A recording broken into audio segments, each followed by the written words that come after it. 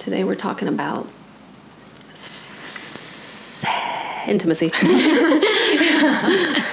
your sexual health um, is a really vital part of your health. I think even when we see our patients for hormone replacement therapy, that's like one of the questions they're asking. Mm-hmm. How's your libido? Yeah, mm-hmm. do you have the desire?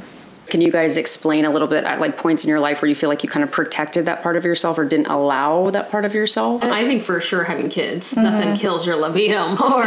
Researching birth control and realize like, oh my gosh, like it depletes my B complex because I guess in order to um, absorb the birth control, your liver requires B complex, vitamin C, zinc, magnesium to even like absorb it. So then mm-hmm. I'm realizing like, oh my gosh, like I'm doing this to my body willingly. And so it's kind of like I've been in this situation where I'm like, okay, well, I don't want to have a baby, but I don't like feeling this way. So it's just kind of like it affected me in a sense of like I'm not I don't feel attracted. What I think a lot of people don't realize how it affects the mental aspect oh, of you. Sure. Like obviously mm-hmm. your hormones are being messed with and so that it just affects a lot. Like you've kept intimacy alive in your relationship after being together for a long time. I think for a long time I was just unhappy with my situation.